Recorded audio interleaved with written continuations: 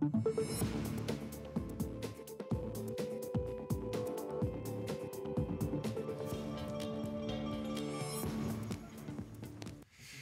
Il y a euh, au mois de décembre dernier un premier sondage qui était euh, paru euh, TV7 Sud-Ouest et France Bleu pour le premier tour des municipales. Et nous vous donnons maintenant les résultats du second sondage, toujours bien sûr pour le premier tour à Bordeaux. Et nous allons débriefer avec nos spécialistes les ce qu'on peut dire donc de ce, de ce sondage. Il y a avec nous Yves Mogg, rédacteur en chef de France Bleu, Gironde, Xavier Sautin de Sud-Ouest, Jefferson des Sports de Sud-Ouest. Bonsoir Bastien. Et Jean Petot de Sciences Po Bordeaux. J'aimerais pour commencer tout de suite que nous nous penchions sur les chiffres. Hein, je pense que c'est le mieux.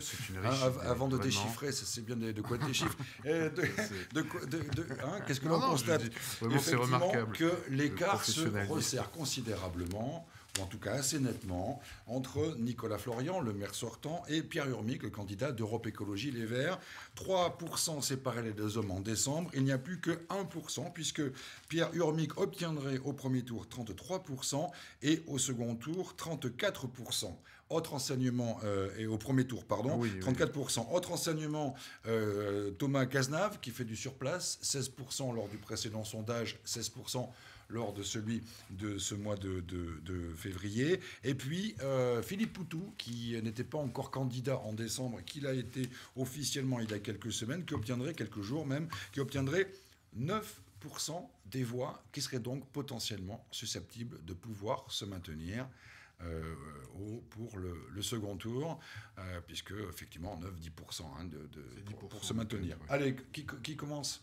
Sur euh, ce qu'on peut dire de. Bah, qu'est-ce qu'on peut dire Allez, je me jette. non, on se jette. Non, mais enfin, vous le disiez, effectivement, euh, on va commencer en haut. Nicolas Florian, euh, bah, ça décolle, mais pas. Pas, pas vraiment. Un point. Il prend un point par rapport au sondage de décembre. ben, voilà, je crois qu'il y, y, a quelques questions à se poser autour de ça. Enfin, les questions, elles sont simples. Je pense que Nicolas Florian, sous votre contrôle, messieurs, naturellement, euh, sous votre contrôle. Nicolas Florian a bien assis son socle, qui est plutôt un, électorat de droite. On le voit, la proportion des électeurs de François Fillon qui se portent sur Nicolas Florian, et aussi également une partie des électeurs du Front National. Alors peut-être que Nicolas Florian, son plafond de verre, c'est arrivé à élargir jusqu'au centre et voire jusqu'à la gauche, ce que faisait remarquablement Alain Juppé hein, dans les précédentes élections. Derrière, euh, vous le disiez, bah voilà, euh, Pierre Hermic qui, petite poussée, trois points. Trois points bah, qui le mettent, qui le placent totalement au coude à coude aujourd'hui euh, avec le maire de Bordeaux. Donc, euh, je pense ne pas me tromper en me disant qu'un de ces deux hommes sera le futur maire de Bordeaux. Oui, il y a des chances. voilà. Non, mais je suis assez courageux.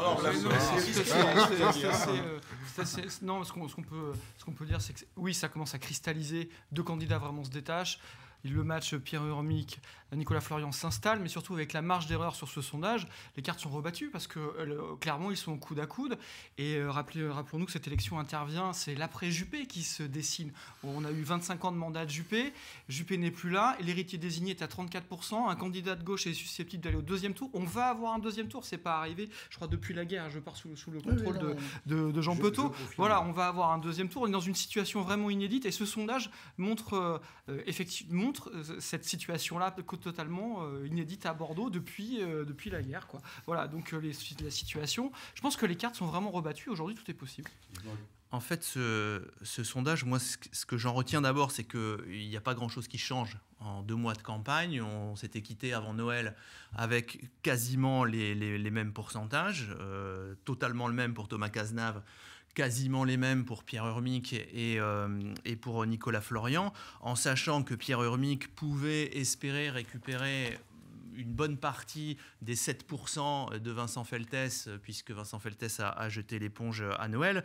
Euh, c'est pas le cas. Donc, euh, même s'il doit être satisfait ce soir de, de, se rapprocher de Nicolas Florian, il doit se dire que bah, il a quand même raté là une belle occasion euh, de booster sa campagne, parce que je pense qu'on n'aurait pas tout à fait le même discours si Pierre Urmic était passé en tête ce soir euh, des intentions de vote devant Nicolas Florian, et il y aura une petite déflagration quand même politique de voir... On l'a quand même là, on l'a bah, quand même, c'est quand même est... coude à coude, qui aurait dit ça enfin, en, décembre on était au même niveau. Oui, mais qui aurait dit ça même en septembre en octobre-novembre, qui aurait dit on, on va se retrouver un mois du premier tour avec un, match à 33-34 entre eh ben, Urmic et, et C'est ce que disait le sondage d'octobre, pas celui qui a été fait par le même organisme de sondage que, que celui que nous avons ce soir, mais c'est le sondage d'octobre réalisé par vos confrères de la Tribune qui donne dans l'hypothèse 2 d'une alliance Urmic avec à l'époque Rouvert, en tous les cas Europe Écologie Les Verts. Euh, tenez-vous bien, la liste Urmic réunit donc 30,5% euh, et la liste Florian 32,5%. Moi, je vais mettre les pieds dans le plat. Je me demande à quoi sert cette campagne. Je me demande euh, euh, parce que fondamentalement, je crois que tout le ah. monde, soit tout le monde pour l'instant, soit ça ne sert à rien. Mais pour l'instant, il, ne se passe pas grand chose. Pour l'instant, il se passe pas grand chose. C'est pour ça qu'on dit à, quoi sert cette campagne, c'est que en dehors de l'inauguration des sièges et, de quelques coups qui apparaissent de temps en temps, on a l'impression que bah, les équipes ont qu'une seule préoccupation, c'est d'aller acheter des pots de peinture vert euh, euh, et de se peindre en vert euh, dans, tous les sens, parce qu'il y a une écologisation, on va dire, du scrutin. Et je termine par un point. on avait en décembre pointé les 24%, c'était le pourcentage qui ressortait du sondage qui disait, voilà, nous sommes sûrs d'aller voter mais nous ne sommes pas en état de dire aujourd'hui pour qui on va voter. Ces 24%, c'était en quelque sorte la bourriche que tout le monde convoitait, hein, en disant c'est là que sont nos réserves. On constate, ça c'est intéressant, le rapprochement, euh, les questions sont les mêmes, on constate que euh, cette fois-ci, ces 24% ont été réduits à 12%. C'est-à-dire que la moitié des indécis a choisi. Mais qu'est-ce qu'ils ont fait? Mais Ils se répartissent équitablement sur les candidats et non pas privilégier un seul d'entre eux. Ils votent comme ceux qui avaient décidé de voter. Alors il y avait une question. C'est du surplace qui est au bout du compte. Il y avait une question que l'on pouvait se poser après l'entrée en liste de, Philippe Poutou. C'est est-ce que Philippe Poutou n'allait pas euh, gratter quelques voix à Pierre Urmic Malgré le fait que Philippe Poutou augmente, Pierre Urmic est aussi celui des candidats qui augmente le plus. Donc a priori, il n'y a pas de, de vase communicant? Oui, enfin, euh, ça, ça on, le verra. Enfin, c'est pas assez fin pour le voir. Moi, ce que j'en retire, ce qu'on peut, alors, de manière un peu grossière, mais dire que Pierre Urmic a vraisemblablement récupéré une partie de l'électorat de Vincent Feltès, mhm. qui était quand même plutôt plutôt à gauche et plutôt anti-En Marche, on va dire. Enfin, voilà, et pas les cadres, qui eux sont plutôt partis chez Voilà, les cadres sont partis chez Cazenave, mais il semble que l'électorat, puisqu'on voit ces trois points... Je ne sais pas où ils sont partis chez Cazenave, puisque Thomas Cazenave est toujours au même niveau. Non, euh, les cadres, on dit bien les cadres, c'est-à-dire les figures. Hein, les figures qui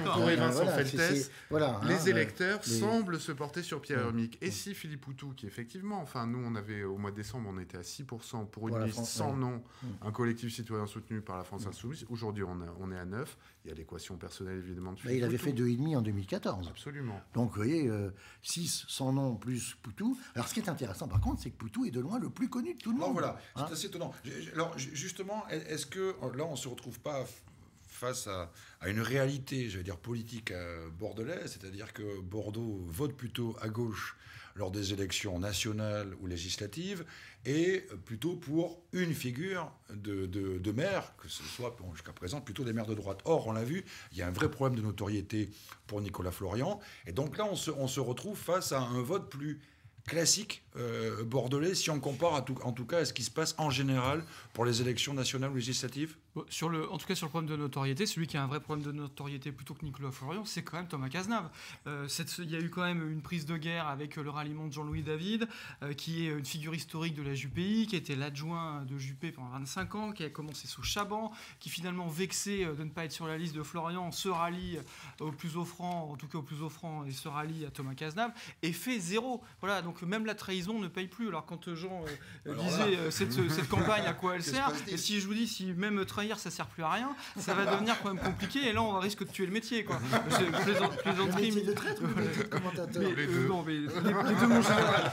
Les deux mon général. Mais euh, sans au-delà de, au-delà de la plaisanterie, je pense que le, la situation de Thomas Cazenave aujourd'hui est très problématique et en tout cas les questions vont commencer à se poser de, de manière très forte sur sa situation au second le, tour. Le, problème de notoriété, il est encore plus flagrant pour Pierre Urmic. Pierre Urmic, vous, imaginez, il est là depuis 1995. Il est dans le paysage politique local depuis 1995. 92 au régional. Hein. Alors, 92 au régional. et aujourd'hui, 42% seulement des Bordelais le connaissent. Il y a moins d'un Bordelais sur deux qui mhm. connaît Pierre Urmic, qui pourtant mhm. est, euh, accrédité de 33%. C'est quand même assez, étonnant. Donc c'est vraiment l'effet euh, vers l'effet. Oui, c'est l'air du temps. Voilà, c'est l'air du temps. À la décharge, j'allais dire, du, du client urmique, puisque c'est une parole d'avocat, je ne suis pas persuadé que Piolle, quand il gagne Grenoble en 2014, le candidat Europe Écologie Les Verts, à la faveur d'une triangulaire, puisqu'il passe devant le PS, je ne suis pas persuadé que Piolle soit beaucoup plus euh, que Pierre Urmic. Alors sans doute que d'ailleurs Piolle avait beaucoup moins d'expérience politique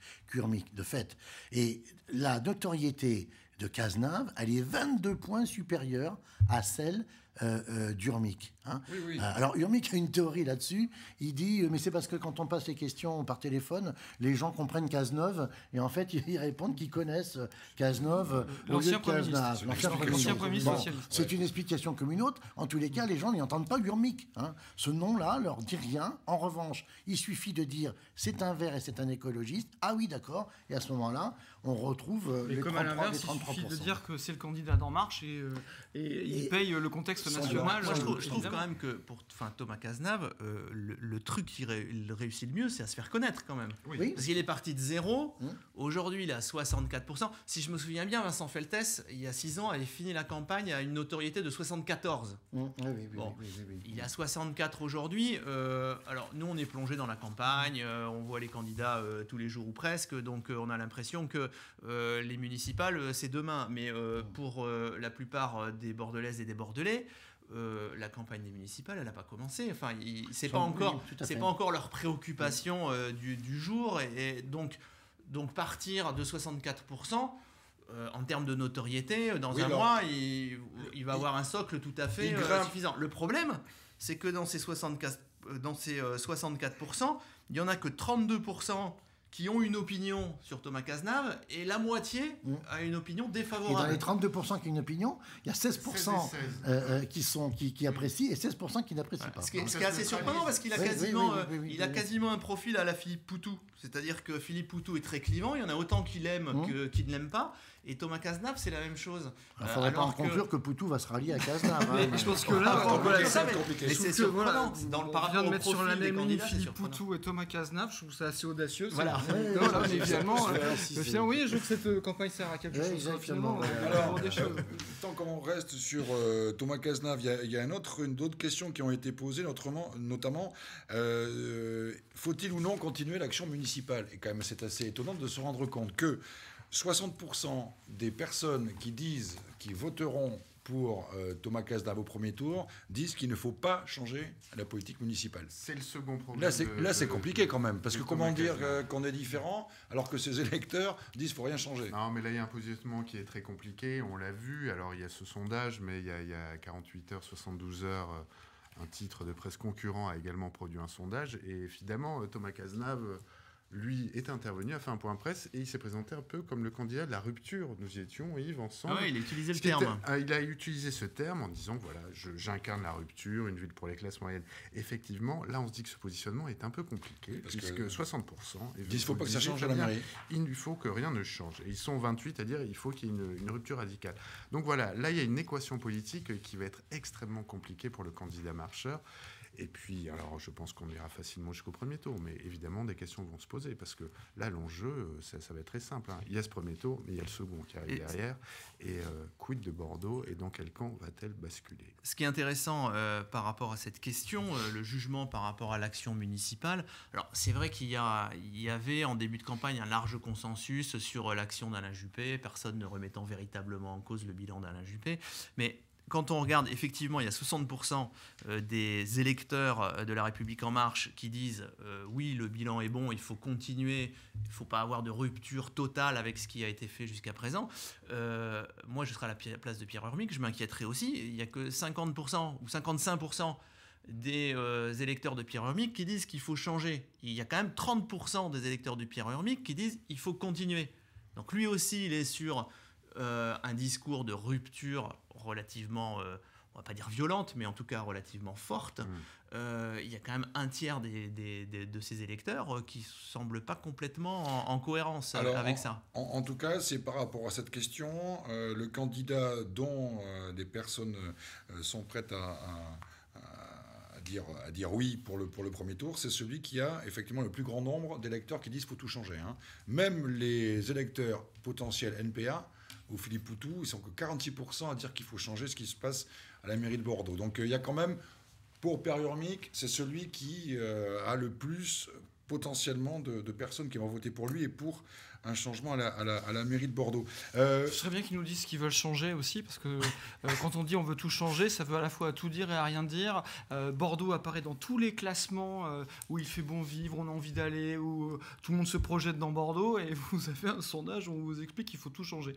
Bon, alors après, moi, je... peut-être que derrière cette question, pardon, Jeff, c'est que il y a peut-être la question de l'alternance, c'est-à-dire qu'en fait, quand on dit tout changer, est-ce que c'est pas, est-ce que c'est pas simplement changer de majorité cette question-là, elle, se pose, elle se pose de manière évidente. Bon, on, le répète, 72 ans maintenant, euh, ou 73 ans depuis 1947, euh, d'une majorité constante, d'un même bord politique. Je rappelle que les scores en France, ou les records, c'est par exemple Limoges, 102 ans. Hein. Bon, ça a changé en 2014. C'est quand même une situation qui est tout à fait exceptionnelle, une telle longévité. Alors peut-être qu'il y a une envie d'alternance. Et ça, ça va poser de fait, une question essentielle, c'est parmi les électeurs éventuellement encore indécis, ou pour ceux qui sont hostiles à euh, Nicolas Florian, parce qu'on peut très bien dire que les intentions de vote pour Florian à 34%, ça en fait quand même encore 66%, ça fait 66% qui ne sont pas favorables à cette équipe sortante.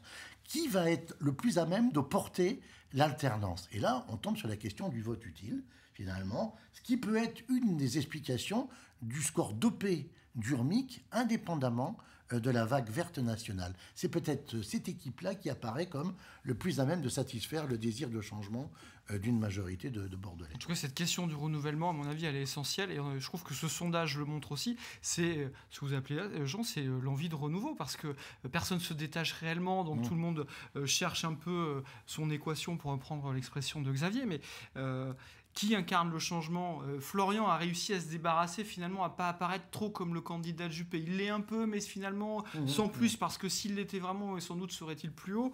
Donc euh, il joue aussi euh, une carte personnelle sur son nom. Maintenant, l'envie de renouveau, je pense qu'elle transparaît. C'est une des leçons de ce sondage, c'est que voilà, rien n'est figé. Quoi. Moi j'ai le sentiment que, que le potentiel de dynamique, ça va peut-être vous paraître un peu paradoxal ce que je vais dire, est encore du côté de Cazenave. C'est-à-dire que je n'ai pas le sentiment enfin, je me dis que en termes de euh, capacité à, progresser, dès lors que Cazenave peut apparaître euh, comme euh, de plus en plus connu et de plus en plus, alors je ne sais pas si on peut dire clivant, hein, mais susceptible d'être un élément de l'alternance avec une crédibilité, eh bien, ça lui laisse une étiquette défavorable. Alors ça, c'est qu'il a le vent de face. Voilà, ça, c'est le réforme des retraites. Alors cela dit, si vous comparez par rapport à d'autres grandes villes, les autres villes, les autres listes LRM dans d'autres grandes villes comparables à Bordeaux sont dans un état bien plus euh, mal en point, si je puis dire, que la liste de La République en marche à Bordeaux. C'est assez catastrophique euh, euh, dans, les, dans les cités ou dans les villes comme, comme Nantes, comme... Mais là, franchement, sur ces municipales, on sait que ça va très mal se passer pour En Marche. Est-ce qu'un candidat qui a un mois d'une élection est à 16% peut encore envisager gagner? Non, je pense pas. Honnêtement, non. Ah, parce qu'en vous entendant, je pensais que oui. Non, je pensais de... non, non, non, je parlais, je parlais de progression. Je parlais pas de victoire. Je parlais de progression. C'est-à-dire que euh, euh, l'enjeu, c'est d'arriver à progression qui se faisait, qui se ferait au détriment de Nicolas Florian dans ces cas-là, pas forcément. Qui pourrait se faire sur ces 12% qui restent encore à conquérir, parce qu'on peut imaginer que là, il pourrait y avoir une, différence, une discrimination euh, entre les, les, les personnes se disant certaines d'aller voter qui aurait tardé finalement à, rechercher euh, qui pourrait le plus porter l'alternance. Mais en revanche, ce qui est important, c'est dans quel état vont-ils arriver tous les trois, ou tous les quatre avec Poutou, au soir du premier tour? Et là, euh, euh, moi, je ne crois pas du tout au, débranchement de, de, de, Cazenave. Non, pas, avant le premier tour. Alors, pas avant le premier tour, mais je ne suis pas non plus. Je suis assez sceptique. Là, il y a je, pense que sur l'entre-deux tours, là, ça, ça va être une, moi, là, ça va être une très belle séquence. Le, coup de fil euh, ou les, les, les, pressions pour faire euh, débrancher Cazenave, j'attends de voir. Mais Cazenave sera d'autant plus à même éventuellement de pas très nouveau monde en tout cas euh, aux, pressions. le, non, le nouveau monde il se caractérise par une incapacité de la direction de la REM ou voire, voire du président de la République à, à, faire euh, régner l'ordre dans les rangs. C'est plutôt ça. Hein. Là, on est plutôt dans une sorte de, de, de chacun fait ce qu'il veut en gros. ça nous rappelle euh, des bons souvenirs aussi peut-être. oui, c'est ça. C'est l'individuation des candidatures. Hein. Non, non, mais effectivement, je crois que c'est... En fait, enfin, je sais pas, là, en vous écoutant, vos brillantes analyses, comme d'habitude, non, mais... Euh, c'est-à-dire, enfin, voilà, ça va être un premier tour assez singulier, parce que on a les équilibres, effectivement, il y a, y a, un groupe de tête hein, qui se détache, on le disait, ça va se jouer à deux, et puis ben, il va y avoir peut-être des votes... Euh, plaisir en tout cas, enfin c'est je pense au vote Poutou, et pour un second tour euh, où... Euh, Les votes tribuniciens on va dire, hein. c'est-à-dire le Poutou peut être une occasion de d'agréger des mécontentements divers et variés, jusqu'au point, effectivement, la, barre des 10% n'est pas loin. Il faut rappeler que pour se maintenir, il faut, faire plus de 10% des suffrages exprimés, et pour se marier, bon là, il n'y a aucune hypothèse de mariage possible, il faut faire entre 5, entre 5 et 10. Hein. Cela dit, imaginez que euh, Poutou, euh, dans l'hypothèse d'une quadrangulaire pouvant se maintenir, euh, soit au deuxième tour, et donc à siéger au conseil municipal de Bordeaux pendant 6 ans, Bon, ça aussi, ça sera un, autre type de spectacle. Oui, oui. Ah oui, là, je pense que oui, oui, oui les conseils municipaux risquent d'être. Euh, non, mais. Que ce soit le maire. Ah après, il euh, ne faut, pas non plus euh, s'enflammer sur les 9% de Philippe Poutou. Il est quand même à la tête d'une liste qui représente notamment la France Insoumise. On est quand même largement en dessous des scores de la France Insoumise mm. sur les dernières élections sur Bordeaux. Donc, mm. Mm, c'est pas non plus un un exploit. Il n'y a pas, même si on peut dire qu'il y a un effet euh, Philippe Poutou, mais c'est vrai que quand on vous interroge dans un sondage en disant est-ce que vous allez voter euh, pour une liste qui est menée par personne, ça vous incite pas forcément à, vous prononcer en faveur de cette liste. Là aujourd'hui, il y a quelqu'un qui, euh, qui mène cette liste, qui en plus a une notoriété, donc c'est relativement logique de voir euh, que la France insoumise sur euh, une élection comme ça puisse euh, émerger à 9, 10, 11 ou 12 Yves, qu'il y ait une, triangulaire ou une quadrangulaire, rien ne dit qu'au second tour, ça décante les choses, parce que finalement, on peut très bien avoir des votes qui se confirment.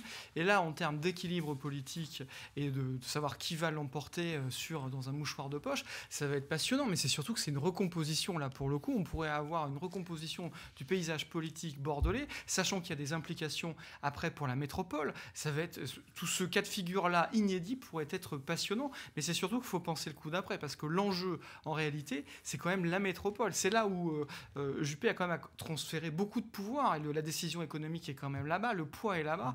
Euh, il faut le repenser aussi dans cette, dans cette optique-là. Peut-être qu'à un moment, c'est un discours qui viendra nourrir la campagne, c'est-à-dire qu'est-ce que vous voulez? Parce que Bordeaux, aujourd'hui, n'est pas seul. Bordeaux est intégré à la métropole. Et là, il y a, y a, une question fondamentale. Il y a une question fondamentale, mais là, quand on regarde l'équipe des forces, c'est que y a, ben, Florian est staffé, en fait, parce qu'il y a un groupe qui est Communauté d'Avenir, qui sont les ex-Juppéistes, alors il y a certains maires qui ont le soutien d'En Marche, d'autres non.